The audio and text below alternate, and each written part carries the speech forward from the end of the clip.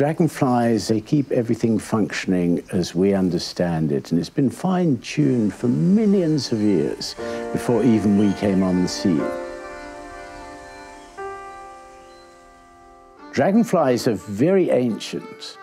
If we go back 300 million years or so, they were able to grow to an enormous size, and some of them had wingspans as wide as 75 centimeters. And these giants dominated the air.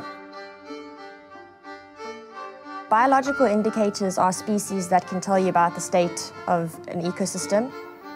Dragonflies make good biological indicators because they have life cycles that depend on both water and terrestrial environment, so they can tell you about the state of both.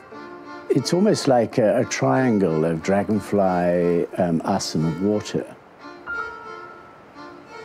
Dragonflies are of conservation significance, so their presence or absence should tell you something about what's happening in the environment. Conservation and ecological services begin to help people to survive, improve their livelihoods, uh, offer uh, business opportunities, and provide a much more sustainable solution in the long term.